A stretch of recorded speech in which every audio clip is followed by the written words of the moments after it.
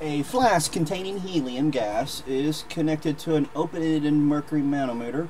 The open end is exposed to the atmosphere where the prevailing pressure is 752 torrs. The mercury level in the open arm is 26 millimeters above the arm that is connected to the flask of helium. What is the pressure of the helium? Alright, so um, easy way to think about this, I normally try to draw out um, one of the manometer type things. And I have an open end. And I'll say that that's 752 torrs. And then we have the flask that has the sample we're studying.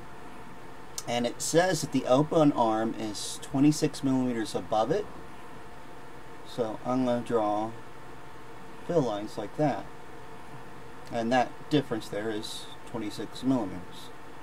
Now, the reason I do this is so I can actually get a better idea and see which one's high pressure. The higher pressure is the one that's going to be lower in here.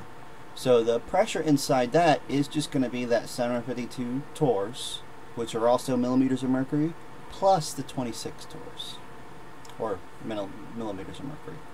And throw that into a calculator.